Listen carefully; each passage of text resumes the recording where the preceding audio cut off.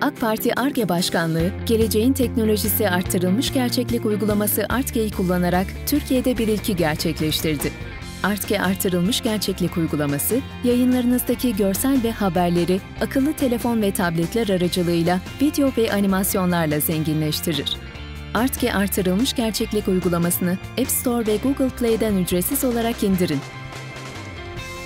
Uygulamayı çalıştırıp cihazınızı ARTGE logosu bulunan resimlere tutun. Gördüğünüz resimlerin video ve animasyonlarıyla haberleri canlı olarak seyredin.